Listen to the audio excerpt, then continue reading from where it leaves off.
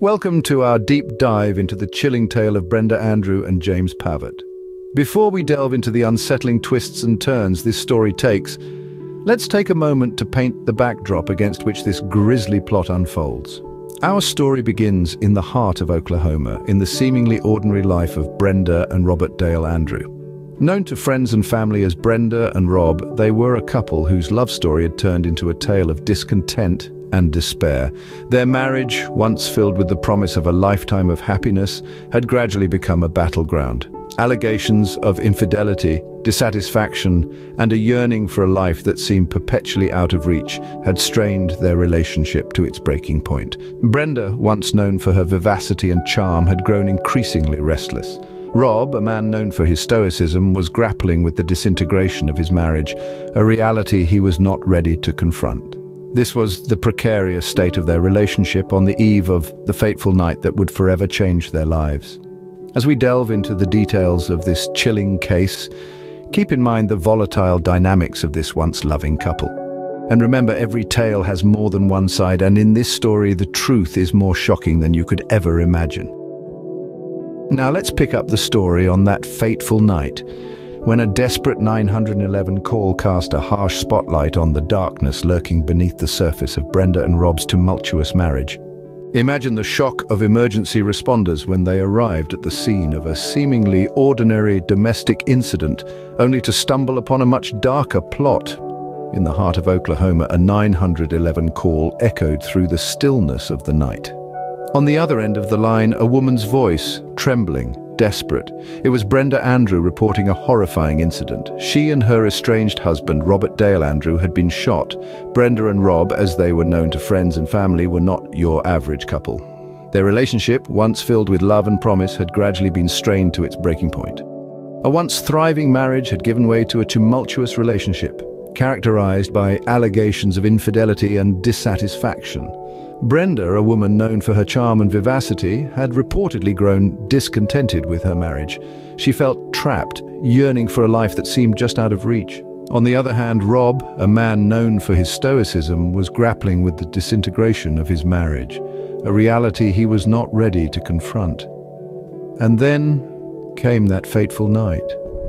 A night when the tensions simmering beneath the surface erupted into a violent confrontation. Brenda, wounded and terrified, made that chilling 911 call. Her voice, filled with panic, echoed the severity of the situation. She and Rob had been shot. It was a scene straight out of a nightmare. A chilling reminder of the darkness that can lurk beneath the surface of ordinary lives. As emergency responders arrived at the scene, they were met with a sight that would haunt them for years to come. Rob, lifeless and cold, lay in a pool of his own blood. Brenda, wounded but alive, was a picture of despair and shock. It seemed like a clear-cut case of domestic violence gone horribly wrong. But as investigators would soon discover, this was far from a simple case of domestic violence. There were layers beneath the surface, shadows lurking in the corners, a sinister plot that was yet to unravel. A plot that would take them down a path of deceit, betrayal and cold-blooded murder. Beneath the surface of Brenda and Robert's marriage were layers of deceit and betrayal that would eventually lead to a devastating end. As we delve deeper into the history of this troubled couple, we uncover a series of affairs that shook the foundation of their relationship. Brenda, a woman of striking features and captivating charm, was not content within the confines of her marriage to Robert. She sought excitement and attention outside of their union, leading her down a path of infidelity. One man in particular, James Pavatt, became a significant figure in Brenda's life. He was not just a friend, but an accomplice in her marital deceit. A man of charisma and confidence, James had a certain allure that Brenda found irresistible. Their relationship grew from casual encounters to passionate rendezvous, fueling the flame of Brenda's dissatisfaction with her marriage. The marriage of Brenda and Robert was not one of shared dreams and mutual respect, but rather a facade that concealed the reality of their disintegrating relationship. Brenda's behavior played a pivotal role in this breakdown. Her quest for thrill and attention, her disregard for the sanctity of their marriage, and her emotional detachment from Robert were all contributing factors. As the cracks in their marriage widened, an undercurrent of tension and resentment seeped into their everyday life. The couple, once united in love, was now divided by betrayal. Their home, once a haven of happiness, became a battleground of unspoken accusations and simmering anger. Yet amidst the turmoil and heartache, life had to go on. They tried to maintain a semblance of normalcy for the sake of their children, their friends, and their community, but the strain was evident, the smiles forced, the laughter hollow. Their marriage was not just unraveling, it was disintegrating, piece by piece, day by day. But no one could have predicted the deadly turn their story would take. Behind the facade of a troubled marriage, a sinister plan was brewing, one that would stun the community and lead to a shocking crime. As the cracks in Brenda and Robert's relationship grew wider, a deadly plot began to unfold. Brenda, discontented and restless, found solace in the company of James Pavatt, a man who seemed to offer an escape from her troubled marriage. The pair allegedly conspired to kill Robert, a plot that would not only end a life but also shatter a community. The plan was meticulously designed, hinting at a chilling level of premeditation. Robert Dale Andrew, a man caught in the tumultuous storm of his estranged wife's dissatisfaction and alleged infidelity, had no idea that he was walking into a fatal trap. The circumstances surrounding the incident were suspicious, to say the least. Robert was shot while supposedly helping Brenda, who was also shot during the incident. The chilling 911 call made by Brenda herself added another layer of mystery to the unfolding drama.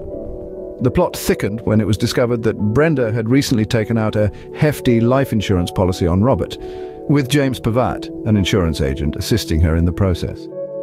This suspicious activity raised eyebrows, and the pieces of the puzzle began to fall into place.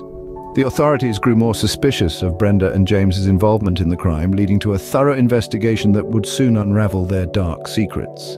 In a world where appearances can be deceiving, the facade of Brenda and James's innocence began to crumble. The community, initially shocked by the tragedy, started to question the true nature of Robert's death.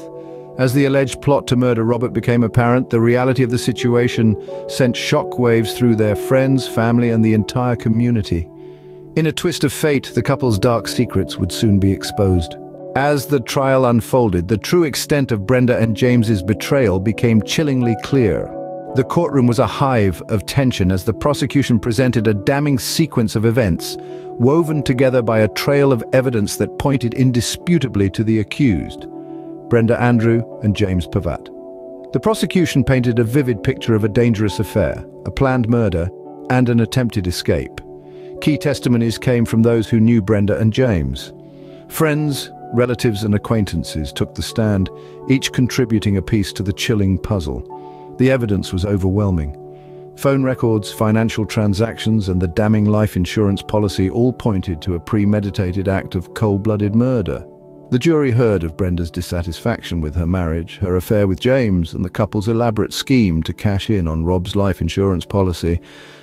And then there were the gunshot wounds. Brenda's injury, superficial and non-life-threatening, contrasted starkly with the fatal wounds suffered by Rob.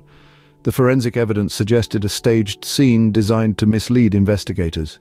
The defense attempted to counter the prosecution's narrative, suggesting other potential scenarios and casting doubt on the integrity of the evidence. Yet their efforts fell short in the face of the compelling case constructed by the prosecution. After weeks of testimonies, the jury retired to deliberate and returned with a unanimous verdict. Brenda Andrew and James Pavatt were found guilty of first-degree murder. The courtroom held its breath as the judge delivered the sentence. Death by lethal injection.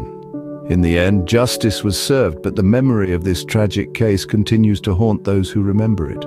The echoes of this chilling tale remind us of the dark depths to which human nature can descend when consumed by greed and deceit.